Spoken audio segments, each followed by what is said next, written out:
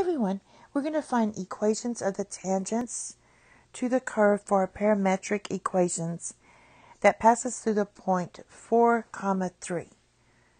So the first thing let's do, let's find our uh, gradient by uh, differentiating or finding our derivative of y with respect to x. Now this is going to be our derivative of y with respect to t divided by derivative of x with respect to t now this is going to equal um, derivative of y with respect to t is 6t squared and derivative of x with respect to t is 6t. So you get uh, equals t. So that's your slope or gradient. And this is also true uh, if x t equals 0. So let's see what we get. Now we want to find an equation of the curve. So at the point corresponding uh, to the parameter value of t, we're going to write y, we're using our point slope form, minus your y value, which is going to be uh, 2t uh, cubed plus 1 equals, now you're going to write your t in t times x minus, and then we have this part uh, 3t squared plus 1.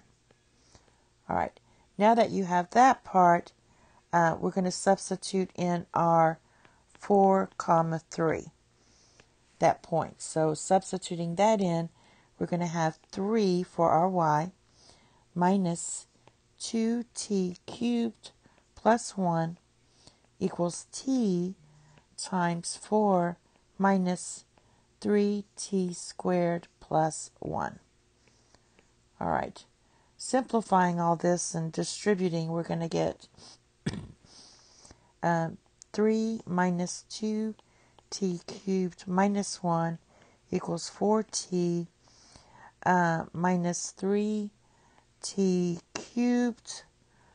Uh, I'm doing two things at once here. Uh, so this can be uh, plus t. All right, uh, simplifying all this further, we're going to get, um,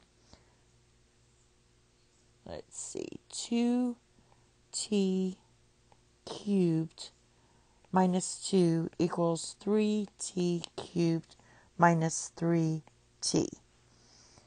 Okay, so that's simplifying that further. So now we have t cubed minus 3t minus 2 equals 0. All right, finally we have all that done. And now let's go ahead and factor this. This is going to be t minus 1 squared times t plus 2 equals 0. So we have t equals 1 or t equals negative 2. For t equals 1,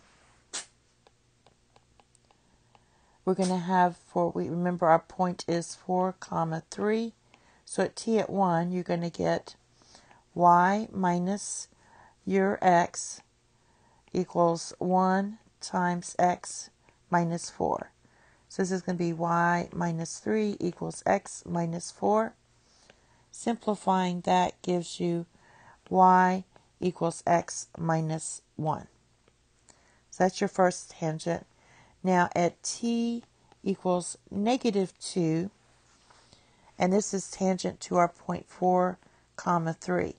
Now t at negative 2, um, you substitute in negative 2 in for x and y, you're going to get y minus a negative 15.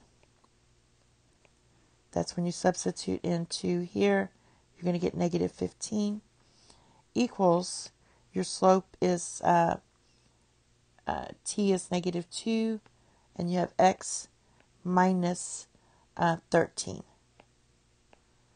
So this is going to give you, um, this is going to be tangent to the curve at 13, comma, negative 15.